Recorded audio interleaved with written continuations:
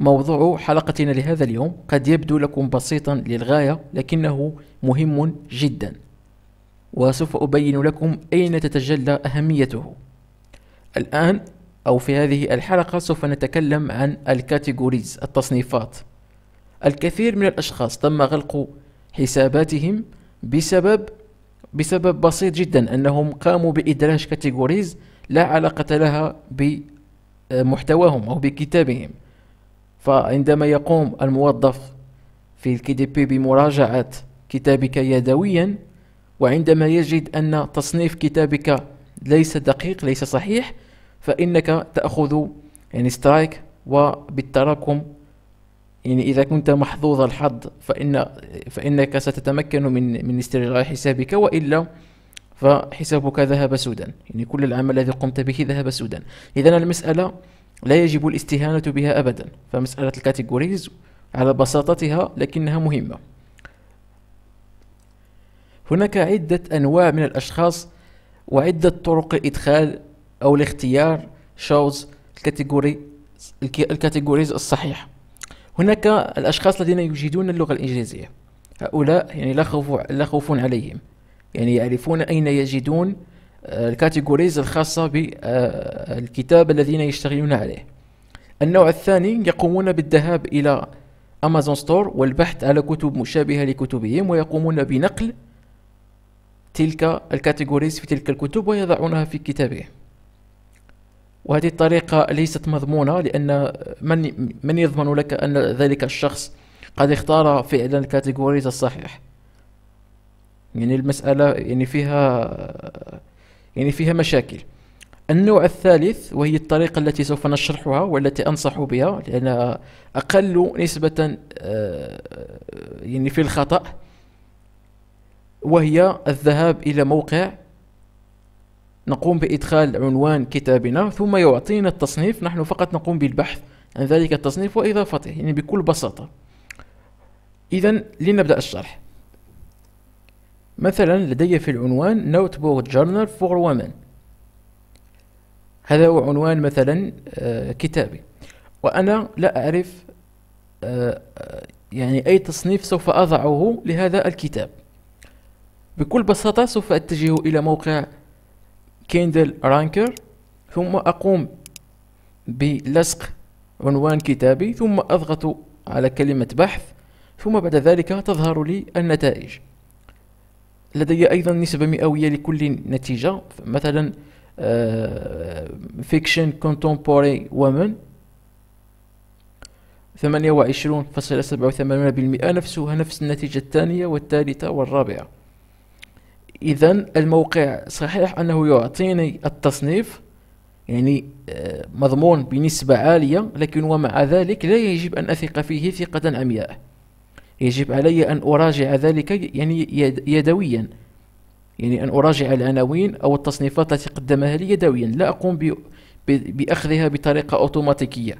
نسخ لصق نسخ لصق.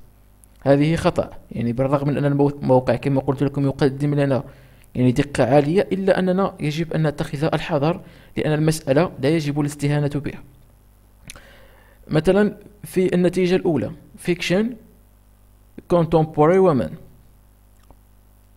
آه، أنا أنا عنواني notebook journal for women لدي women إذا آه، ولدي notebook ولدي journal إذا سوف أقوم باختيار النتيجة الثانية biography autobiography women بمعنى أن آه هذا الدفتر موجه لهذه الفئة. يعني مثلا سيدة تريد أن تكتب autobiography أو biography عن شخص ما آه تقوم بالبحث آه عن هذا التصنيف في في آه في store امازون store فيعني تجد دفتري يعني دفتري ملائم لها لأنني أنا ماذا أقدم؟ أقدم notebook journal و notebook journal مناسب لسيدة ومن لكتابة autobiography أو biography إذا هذا التصنيف جيد آه لإيجاده يعني لإيجاده. أقوم بالرجوع إلى موقع Kindle ثم أختار دائما nonfiction ثم أقوم بالبحث عن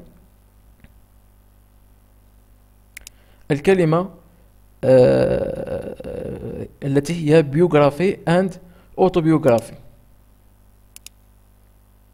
هذه هي أقوم بفتحها. ماذا بعد؟ لدي women أقوم بالبحث عن women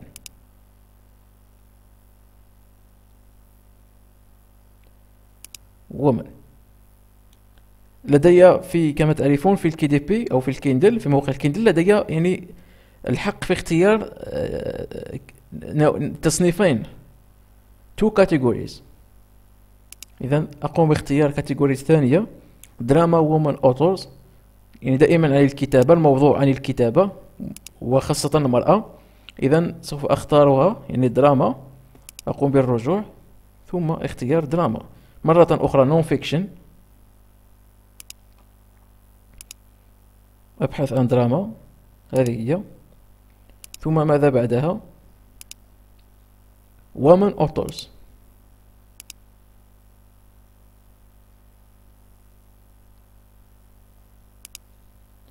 هكذا أكون قد اخترت يعني آه تصنيفين. سيف الآن دعوني نتكلم قليلا عن بعض المشاكل. هناك من يقوم بالضغط على لا يوجد تصنيف. سوف أريكم أين هي. لكي تتفادوها طبعا.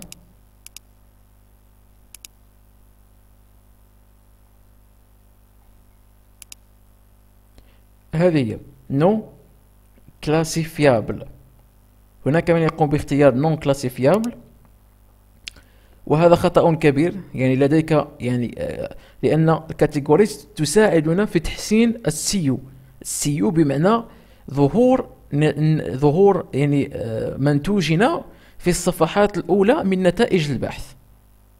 إذا ال categories تلعب دور مهم لا يجب الاستهانة به. إذا يجب علينا اختيار ال categories. لا يجب تركها فارغة أو non-classifiable ثانيا النوع الثاني من الأشخاص يقومون باختيار آه، أي تصنيف يعني عشوائيا. كما قلت لكم هذا قد يؤدي بل سيؤدي حتما يعني مسألة وقت فقط إلى غلق حسابكم. وهناك بعض الأشخاص الذين يعتقدون أنهم أذكياء يقومون باختيار التصنيف الذي يكون ترند يعني يكون رائج في تلك الفترة. مثلا نحن في Q, Q four يقومون بالذهاب إلى كريسميتي مثلا ثم يقومون باختيار أحد الفروعها لماذا لكي يظهر فعلا في آه في نتائج آه، يعني يعني لكي يظهر كتابهم ولو لم يكن يعني من ذلك التصنيف الا أنه سيظهر إذا بحث ذلك الشخص عن آه، مواضيع ذات ال Q four. نعم هذا يعني سوف يساعد سوف يعني يزيد ربما قد يزيد من أرباحك لكنه يعني خطير جدا. قد يعني يسبب في قفل حسابك. فلهذا آه، الطريقة كما قلت لكم الصحيحة هي التوجه إلى موقع Kindle Ranker ثم كتابة العنوان ثم آه، نقوم بقراءة يدوية للنتائج ثم نقوم باختيار النتيجة التي تبدو لنا منطقية يعني نحلل بالمنطق والعقل.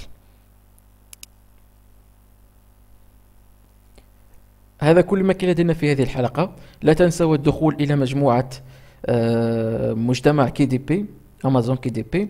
سوف تجدون رابطها أسفل الفيديو. شكرا لكم على المشاهدة مرة أخرى. إلى اللقاء.